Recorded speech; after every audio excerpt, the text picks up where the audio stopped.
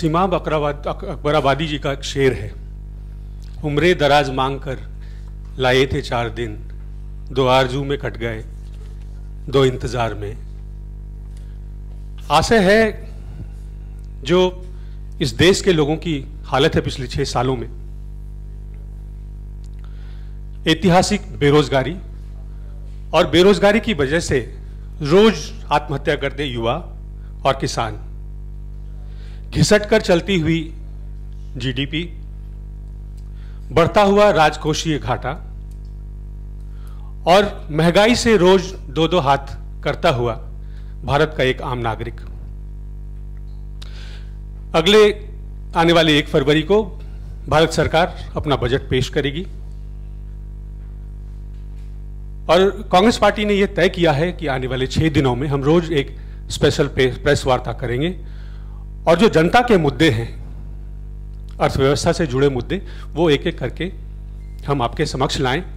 और ये अपेक्षा करेंगे कि आप उन मुद्दों को सरकार तक पहुंचाएँगे, जिससे कि देश की जनता को राहत मिले। आज की प्रेस वार्ता के लिए हमारे साथ हैं आदरणीय सुप्रिया श्रीनेत जी।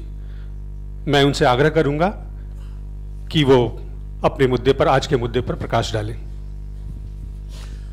धन्यवाद प्रणव जी, आप सब लोगों को मेरा नमस्कार। एक प्रीवियस अवतार में मैंने करीब 15-16 बजट कवर किए हैं। तो बजट पे बोलना आसान नहीं होता है, क्योंकि आंकड़ों से बात करी जाती है और इस सरकार का आंकड़ों पर कोई भरोसा नहीं है और यूज़ करने की आदत नहीं है। लेकिन फिर भी हमारी कोशिश यह है कि एक रिस्पॉन्सिबल ऑपोजिशन के नाते, एक जिम्मेदार ऑपोजिशन और विपक्ष के नाते हम मूल मुद्दों की बात करें और फोकस वापस इकोनॉमी पे लाएँ, क्योंकि कहीं पर हमारा, आपका और सबका जो प्रभावित करने वाला मुद्दा है, वो इस समय आर्थिक मंदी है, बेरोजगारी है, और जो आने वाला बजट है, वो शायद इन चीज़ों को एड्रेस करेगा, ये हम आशा करते हैं। मैं इसलिए ये बात कहती हूँ, क्योंकि पिछले चार सालों में फाइनेंशियल ईयर 17 में 2016-17 में नोटबंदी हुई डिमोनेटाइजेशन हुआ 17-18 में जीएसटी लागू करी गई 18-19 में इकोनॉमिक स्लोडाउन होना शुरू हुआ और क्वार्टर दर क्वार्टर तिमाही दर तिमाही ग्रोथ गिरती गई। और फिर 19-20 का जो वित्तीय वर्ष होता है, उसमें सरकार डिनायल में रही और जो स्लोडाउन है वो और एंट्रेंच हो गया, जिसको कहते हैं कि और डीपन हो गया। तो आज जब हम बजट से शायद पाँच दिन पहले बात करते हैं we are at the brink of stagflation we are at the risk of this stagnating economy slipping into stagflation and I say that with all responsibility मैं पूरी ज़िम्मेदारी के साथ कहती हूँ कि हम लोगों की जो इकोनॉमी है, जो इंडिया की आर्थिक व्यवस्था है, अर्थव्यवस्था है, वो कहीं ना कहीं स्टैगफ्लेशन की ओर बढ़ती हुई दिख रही है और इसलिए दिख रही है क्योंकि इन्फ्लेशन बढ़ता जा रहा है इन्फ्लेशन पीक हो रहा है 7.4 परसेंट लास्ट रीडिंग थी और ग्रोथ की दर धीमी होती जा रही है इकोनॉमी धीमी होती जा रही है। पहला मुद्दा स्टैगफ्लेशन और मैं ये समझती हूँ, मैं जानती हूँ अप्रिशिएट करती हूँ कि आप में से बहुत लोगों की बीट इकोनॉमी नहीं है फाइनेंस नहीं है तो जितना इसको सिंप्लीफाई कर सकूँगी और आपके माध्यम से लोगों को समझा सकेंगे हम लोग, वही पूरी कोशिश है। स्टैगफ्लेशन होता है इकोनॉमी स्लो डाउन होती है इन्फ्लेशन बढ़ता है और एक ऐसी सिचुएशन आ जाती है जिसमें कि इन्वेस्टमेंट बंद हो जाता है। और अब वो सिचुएशन और भी ज़्यादा होगी क्योंकि इन्वेस्टमेंट ऑलरेडी इस इकोनॉमी में हो नहीं रहा है, अर्थव्यवस्था में निवेश हो नहीं रहा है और ये और बदतर होगी सिचुएशन स्टैगफ्लेशन के दौरान इन्फ्लेशन प्राइसेस जो है वो और बढ़ते हैं और ये आम आदमी पर मार है. स्टैगफ्लेशन के दौरान क्योंकि इन्वेस्टमेंट नहीं होता है तो नौकरियाँ नहीं बनेंगी. नौकरियाँ नहीं बनेंगी तो कहीं ना कहीं ग्रामीण इलाकों में या शहरी क्षेत्रों में भी जिसको कहते हैं कंजम्पशन पर मार पड़ेगी और कंजम्पशन याद रखिएगा, उपभोग जो है, वो हमारी इकोनॉमी का, हमारी अर्थव्यवस्था का दो तिहाई हिस्सा है। उपभोग हर तरह का, चाहे एफएमसीजी गुड्स हो, चाहे कार हो, जूते हो, कपड़े हो, जिस भी चीज़ का हम उपभोग करते हैं, वो हमारी इकोनॉमिक स्थिति का दो तिहाई हिस्सा है, इसलिए कंजम्पशन में जो गिरावट हो रही है, वो बहुत चिंताजनक है और उसके बारे में मैं दो मिनट में बात करती हूँ। तो कहीं ना कहीं ऐसा लग रहा है कि स्टैगफ्लेशन के चलते इन्वेस्टमेंट जॉब्स रूरल स्ट्रेस और कंजम्पशन सब प्रभावित होगा और एक विशियस साइकिल बन जाती है। एक वर्चुअस साइकिल होती है, एक विशियस साइकिल बन जाती है कि जहाँ पर लो ग्रोथ से जॉब्स जॉब से कंजम्पशन कंजम्पशन से इन्वेस्टमेंट ये प्रभावित होता जाता है और उस डाउनवर्ड स्पाइरल से, उस निरंतर गिरते ग्राफ से निकलना बड़ा मुश्किल हो जाता है।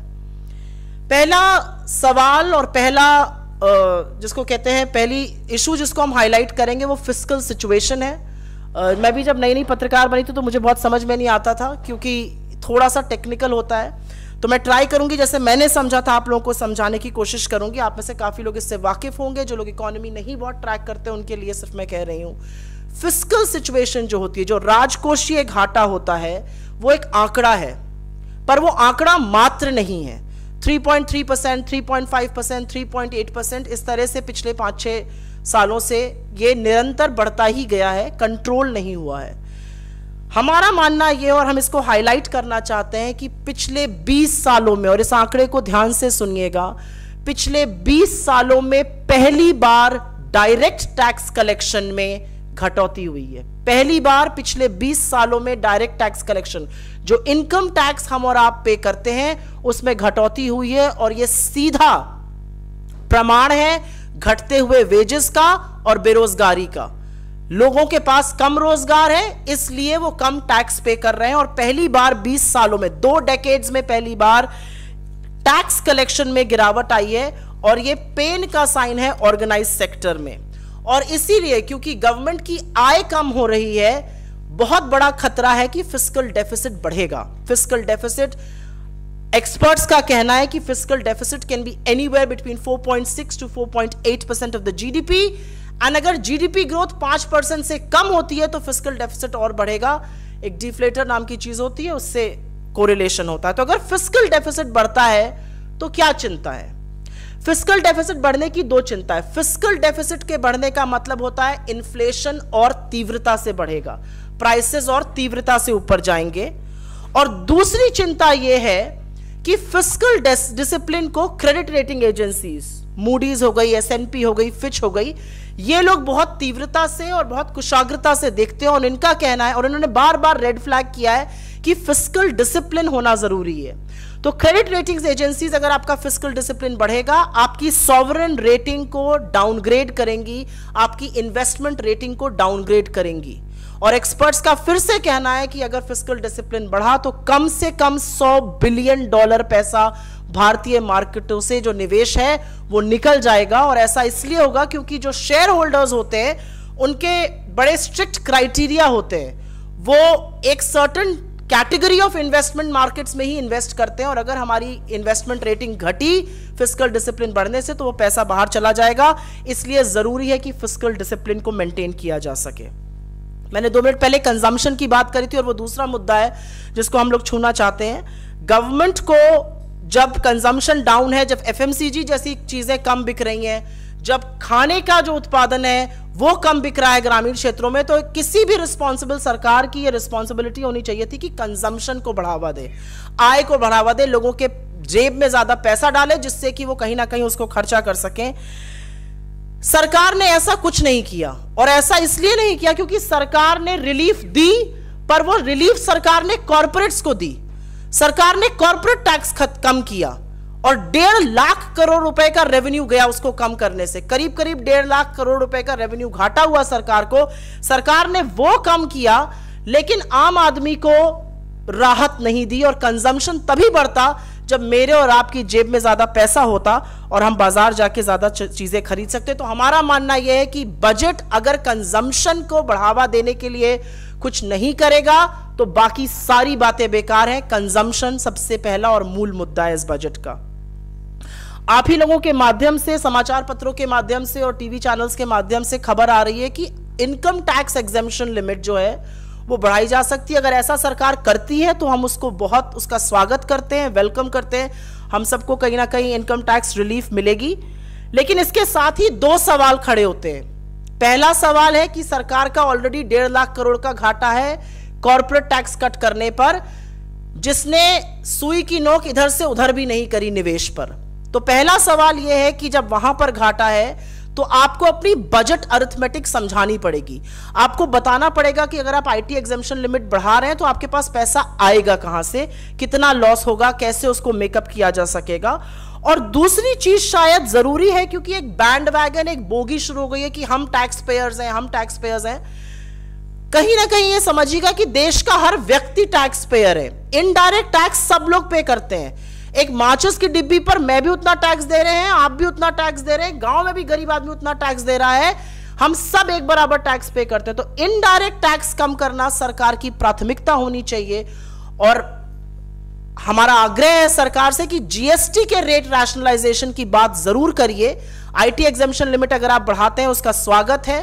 हम, वो सराहनीय कार्य होगा, लेकिन कहीं ना कहीं एक बड़ी जनसंख्या को राहत देने की बात करिए। और इसलिए जीएसटी रेट रैशनलाइजेशन के बारे में ध्यान दीजिए। पांचवी बात निवेश की करनी ज़रूरी है, क्योंकि निवेश फिर से टेक्निकल है, लेकिन इन सब चीज़ों से रिलेटेड है। अगर कंपनी इन्वेस्ट करती है तो जॉब क्रिएट होती है जॉब क्रिएट होती है तो कंजम्पशन बढ़ता है कंजम्पशन बढ़ता है तो निवेश फिर से होता है। ये एक वर्चुअस साइकिल है एक अच्छी सकारात्मक साइकिल है। लेकिन एक मिनट फिर से थोड़ा टेक्निकल बोल रही हूँ, ज़रूर सुनिएगा। पावर प्लांट है दादरी में एक पावर प्लांट है, एक एग्ज़ाम्पल दे रही हूँ आपको। और पावर प्लांट की टोटल कैपेसिटी होती है 100 प्रतिशत पावर प्रोड्यूस करना। औसतन पावर प्रोडक्शन जो इस समय देश में है, वो 50 परसेंट उसको प्लांट लोड फैक्टर कहते हैं। औसतन power producing plants 50 percent power produce कर रहे हैं। क्यों 50 परसेंट कर रहे हैं और क्यों ये ज़रूरी है? इसलिए क्योंकि इलेक्ट्रिसिटी का जनरेशन और उसका उपभोग एक बड़ा क्राइटेरिया होता है एक बड़ा आंकड़ा होता है ग्रोथ और इंडस्ट्रियल और इकोनॉमिक एक्टिविटी को देखने का। तो अगर पावर ही कम प्रोड्यूस होके कम खरीदार है इसका इसका मतलब है कि मैन्युफैक्चरिंग कम है इसका मतलब है कि इलेक्ट्रिसिटी कंजम्पशन कम है इकोनॉमिक एक्टिविटी वीक है। पहला तो प्लांट लोड फैक्टर हो गया। और दूसरा मैंने इस माध्यम से आपको एक बार पहले भी बताया है कि जो कैपेसिटी यूटिलाइजेशन होता है जो कंपनीज़ होती हैं और जिस तरह से वो अपने आ, लोगों को और मैन्युफैक्चरिंग फैसिलिटीज़ को और मशीनों को यूज़ करती हैं, वो मात्र 60-70 प्रतिशत है। तो किस तरह से सरकार कॉरपोरेट इंडिया से कहेगी कि आप इन्वेस्ट करिए, वो डायरेक्शन ये बजट निर्धारित करेगा। बड़ी बड़ी बातें कर देना, लच्छेदार बातें कर देना और दो शहरों को नाप कर ease of doing business index खड़ा कर देना अलग चीज़ है। लेकिन कॉरपोरेट इंडिया जो गुणगान करती है मोदी सरकार का, वो इन्वेस्ट नहीं कर रही है और इस बजट के माध्यम से इन्वेस्टमेंट होना बहुत ज़रूरी क्योंकि जब तक इन्वेस्टमेंट नहीं होगा, वो वर्चुअस साइकिल की जो व्हील है, जो पहिया है, वो चलेगा ही नहीं। इसीलिए ज़रूरी है कि सरकार की जो नीतियाँ हो, जो नियम हो, वो इन्वेस्टमेंट की तरफ़ भी फोकस करें कंजम्पशन और रिलीफ के साथ साथ पांचवा मुद्दा, और ये ज़रूरी मुद्दा फिर से है एक्सपोर्ट का। किसी भी इकोनॉमिक लैंडस्केप में किसी भी इकोनॉमी के चार पहिए होते हैं private investment public investment export and consumption हमारा इन्वेस्टमेंट प्राइवेट डाउन है, हमारा एक्सपोर्ट डाउन है, हमारा कंजम्पशन डाउन है। एक पब्लिक एक्सपेंडिचर थोड़ा बहुत चल रहा है, लेकिन फाइनेंसिस के डिटोरिएशन के बाद उसमें भी रुकावट आई है। तो ज़रूरी है कि एक्सपोर्ट पर एक मिनट ध्यान दीजिए, क्योंकि कोई भी इकोनॉमी आप उठा लीजिए, चाहे चाइना हो, चाहे यूनाइटेड स्टेट्स हो, किसी भी इकोनॉमी की आप बात करिए, चाहे बांग्लादेश हो, जो अब इकोनॉमी ज़्यादा अच्छी ग्रो कर रही है कोई भी इकोनॉमी हायर एक्सपोर्ट रेट के बिना ग्रो कर ही नहीं सकती है, क्योंकि जब एक्सपोर्ट की दर बढ़ती है तो इकोनॉमिक दर भी बढ़ती है। तो ज़रूरी है कि एक्सपोर्ट पर ध्यान दिया जाए, और डींगे हाँकने की बात नहीं है, लेकिन एक जमाने में हमारा एक्सपोर्ट 20 परसेंट के लगभग था, अब पिछले पाँच महीनों से लगातार निरंतर गिरता जा रहा है। और मैं एक दिन टीवी पर देख रही थी एक वक्ता थे भाजपा के और वो कह रहे थे, लेकिन इंपोर्ट भी घट रहा है। इंपोर्ट का घटना बुरी बात है। इंपोर्ट का घटना बुरी खबर है। इंपोर्ट के घटने का मतलब है कि कहीं ना कहीं आपके यहाँ मैन्युफैक्चरिंग इकोनॉमिक एक्टिविटी हो ही नहीं रही है, इसलिए इंपोर्ट भी घट रहा है। आपको वो सब चीज़ें इंपोर्ट करने की ज़रूरत नहीं पड़ रही है। तो एक्सपोर्ट और इंपोर्ट पर ध्यान देना ज़रूरी है, क्योंकि बिना उनकी ग्रोथ के आर्थिक स्थिति मजबूती से बढ़ ही नहीं सकती है। और पांचवी और अंतिम बात हम ज़रूर करना चाहेंगे, छठी और अंतिम बात, और यह है किसान की, क्योंकि बिना किसान की आय बढ़े, बिना हिंदुस्तान के जो फार्म्स हैं, जो एग्रीकल्चर सेक्टर है, उसका भला हुए they can be precious little done to any economy and if data is anything to go by then the agriculture sector will grow at under two percent the government had promised doubling farm incomes दुगनी करने की आय बात करी थी सरकार ने किसान की दुगनी तो छोड़ दीजिए, सरकार के रहमो करम के चलते आज किसान की आय आधी हो चुकी है। वो डेट बर्डन के अंदर है, कर्जे के अंदर डूबा हुआ है, उसको अपनी उत्पाद का पूरा पैसा भी वसूल नहीं हो रहा है। तो कहीं ना कहीं ये बजट सुर्खियों से हटकर, सुर्खी बटोरने से हटकर कहीं ना कहीं इस बजट को वास्तव में कृषि और किसान के लिए क्या करना है, वो तय करना होगा। मैं अंतिम बात बस यही कह के खत्म करूँगी कि अभी थोड़े दिनों पहले प्रधानमंत्री जी दस बारह बड़े उद्योगपतियों से मिले। It could have been a big confidence boosting major but budget cover करने के नाते कुछ सालों से ये भी जानती हूँ कि बजट तो प्रिंट होने में चला जाता है पाँच दिन छः दिन पहले।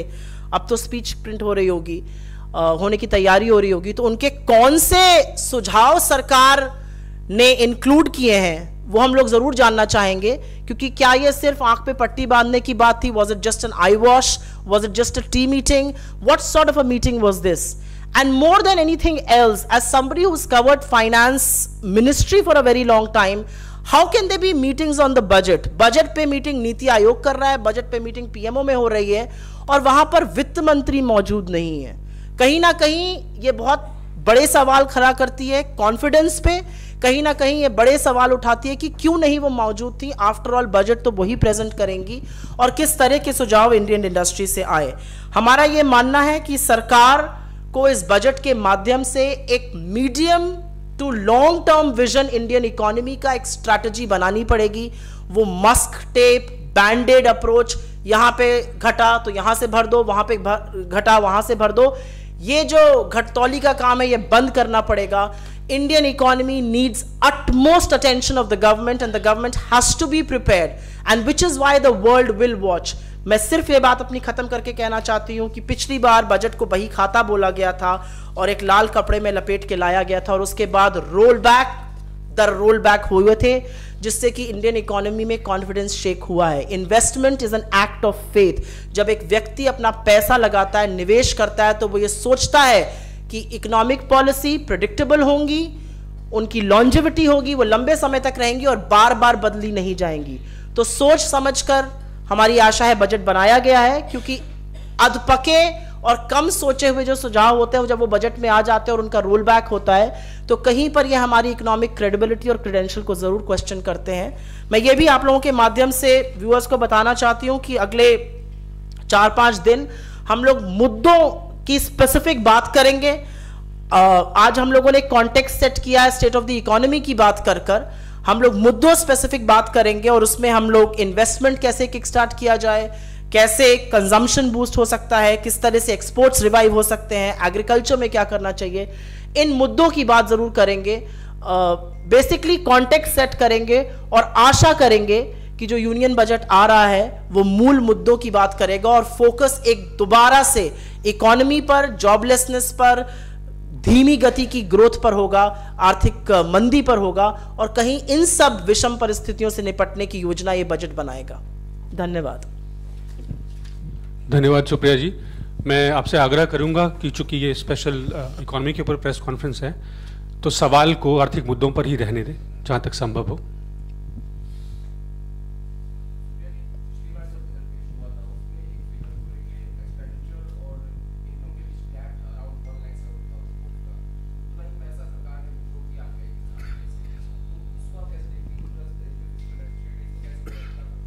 नहीं आदेश जी अच्छा सवाल है और इसलिए अच्छा सवाल है क्योंकि कहीं ना कहीं एक सवाल ये भी उठ रहा है इंडियन इकोनॉमी में कि क्या आरबीआई और फाइनेंस मिनिस्ट्री का कुछ आ, जिसको कहते हैं is there some coordination between the two because they are both managers of the Indian economy सवाल इसलिए ज़रूरी और भी हो जाता है क्योंकि कहीं पर एक ये अप्रोच है कि अगर घाटा हो रहा है तो आरबीआई के रिजर्व्स को आ, से ज़्यादा रिजर्व्स मांग लो आ, कंपनीज़ को एक दूसरे से बिकवा दो। ये रियल डाइवेस्टमेंट नहीं है, ये रियल डिसइन्वेस्टमेंट नहीं है। अगर एच को एनजीसी खरीदती है तो नाक ऐसे पकड़िए या घुमा के पकड़िए, वो वाली बात होती है। तो मेरा ये मानना है कि सरकार को बजट अर्थमेटिक बहुत ट्रांसपेरेंट तरीके से दिखानी चाहिए और इसलिए भी दिखानी चाहिए क्योंकि पहली बार ऐसा हो रहा है इंडियन इकोनॉमी में पिछले दो तीन साल में, जब एक्सपर्ट्स और जो विशेषज्ञ इकोनॉमी ट्रैक करते हैं, वो हमारे आंकड़ों पर सवाल उठा रहे हैं, उनकी क्रेडिबिलिटी पे सवाल उठा रहे हैं, सरकार के रेवेन्यू रेजिंग तरीके पर सवाल उठ रहा है। तो कहीं ना कहीं ज़रूरी है कि it should start on a clean slate एक साफ़ तरीके से क्या घाटा है क्या नफा नुकसान है इसके बारे में ट्रांसपेरेंट तरीके से बात हो। आरबीआई के रिजर्व्स बहुत इंपॉर्टेंट होते हैं। अगर फॉरेक्स कहीं पर गिरने लगे तो उन रिजर्व्स को यूज़ करना जाना चाहिए। उसको राजकोषीय घाटे को, आ, कहीं पर उसको पाटने के लिए यूज़ नहीं करना चाहिए। हम लोगों का आशा है कि शायद इस बार ऐसा नहीं होगा लेकिन सरकार ने आशा के विपरीत ही काम किया। है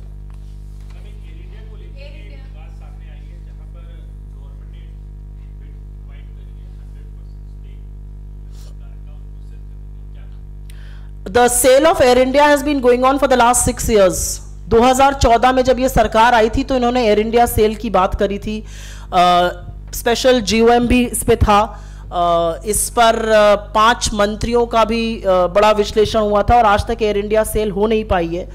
तो मेरा ये मानना है कि अगर एयर इंडिया की सेल सरकार वाकई में कराना चाहती है they have to look for a real investor they have to look for a real strategic sale सरकार ने भ्रमित करने की बातें कही हैं। कभी सरकार ने कहा है कंट्रोल हमारे हाथ में रहेगा, कोई स्ट्रेटेजिक इन्वेस्टर आ जाए। कभी सरकार ने कहा है कि हम एयर इंडिया को विभाजित करके उनकी सब्सिडरीज को अलग सेल करेंगे एयर इंडिया को अलग सेल करेंगे। तो पहले सरकार को एक स्ट्रेटेजिक तरह से बताने की ज़रूरत है कि किस तरह की सेल की बात करें। आज आप हंड्रेड कह रहे हैं। थोड़े दिनों पहले मैंने कहा था कि सब्सिडरी सेल ही हो रही है। तो अभी कुछ पता नहीं कि सेल किस तरीके की हो रही है और ये पिछले छह साल से चल रहा है। जब हो जाएगी तब हम लोग इसको मानेंगे।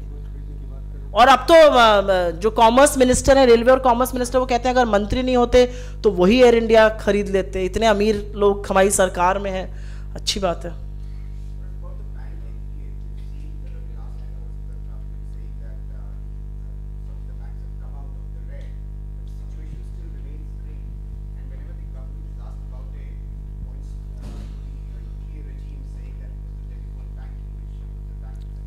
I'm glad you asked me that question because you know if I was in government, I don't know for how long will I keep blaming a previous regime.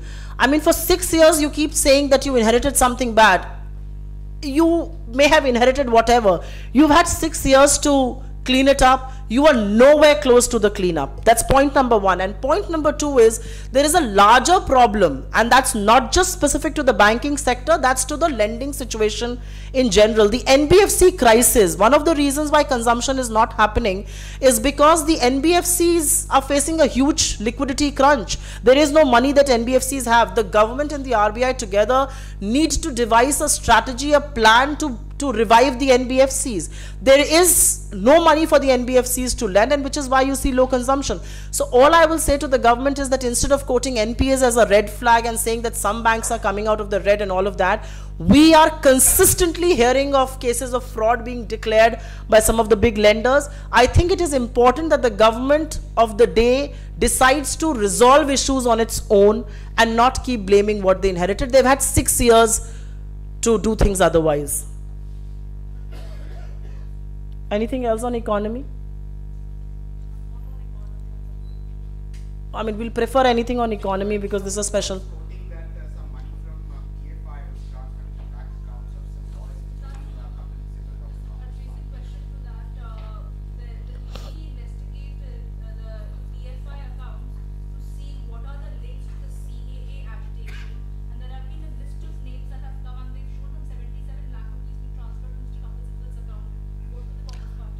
I think as a responsible member of the Congress party, I will only say one thing that I'm hearing this from you and I'm seeing this on very select TV channels. I don't think there is anything uh, which has come from an official source just yet. I think we will reserve a comment on this and I'm sure Mr. Kapil Sibal will at an appropriate time respond to this if at all.